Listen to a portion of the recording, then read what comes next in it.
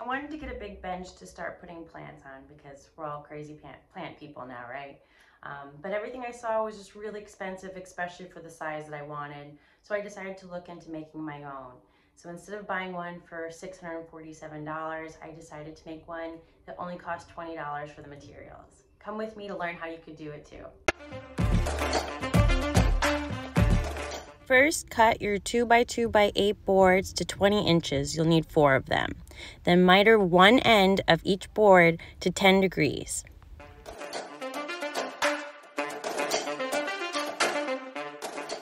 Before assembling, make sure to sand all of your pieces first. I like to increase from 80 to 120 to 220 grit sandpaper for a smooth finish. With your 1 half by 3 by 24 inch board, cut out 7 inch piece. You're going to want this for each pair of legs.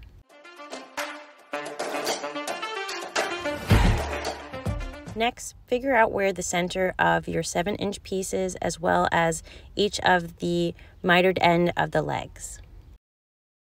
So I just want to show you with the leg, the 2x2 leg that you cut out for 20 inches, you're going to cut one end at 10 degrees. Only do one end. And then you'll take the 7 inch piece that you cut and you will line them up so that it goes as an angle. See? So that only do one end though. Drill pilot holes at an angle at the end of each 7 inch piece. This will ensure that the wood won't crack.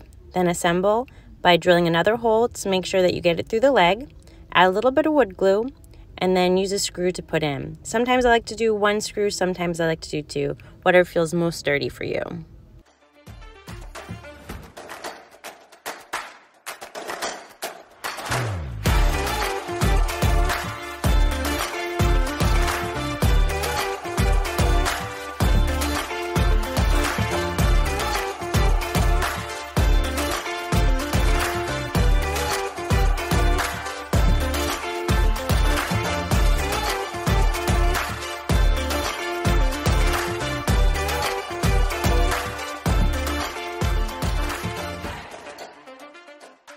With the remaining 1 half by 3 board that you have, measure between the legs and cut that to 2 inches wide.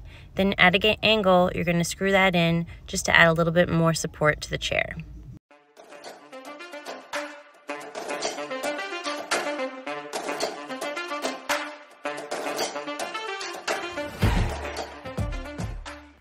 Forget to film the first step where you trace the one half by three inch board along the legs where you'd like that accent piece to appear. Um, but you just trace it, you'll cut it with your miter saw, and then instead of screwing it in, just put a little bit of wood glue on the side. Just like we did earlier with the legs, you're gonna wanna sand the top part of your bench. I like to start with 80 grit and then move up to 120 and then 220. And then we're gonna move on to the therapy session of this, where you get to bang as much as you want out of this. I used both ends of my hammer, a wood rasper, anything that you have on hand, um, go crazy. And I do like to focus on the edges, especially with the wood rasper, to ensure that they're nice and smooth. Finish with one quick hit of the 220 sandpaper, just to make sure everything is really smooth before you finish off. Now let's attach the legs. Measure six inches in on each end of the top piece. You're going to place your leg on the inside of that line. Then you're going to add two or three screws on each side. Always start with pilot holes first to ensure that the wood does not crack on you. Before officially screwing them on, don't forget to add a little bit of wood glue for support.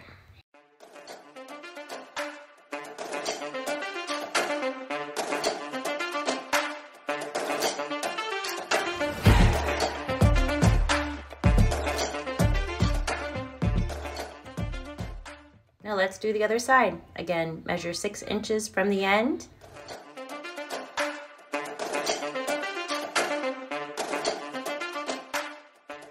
And place your leg on the inside of the line, not the outside like I just did. And before you put your screws in, don't forget your pilot holes, a little bit of wood glue in the screws, and you are all set to go.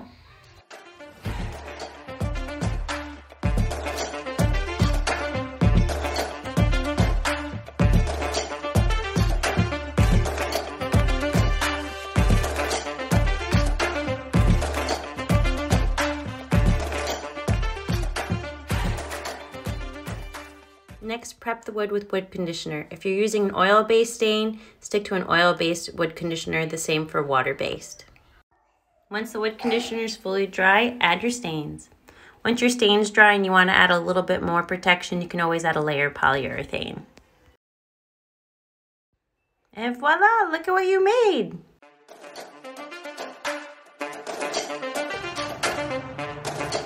Yay!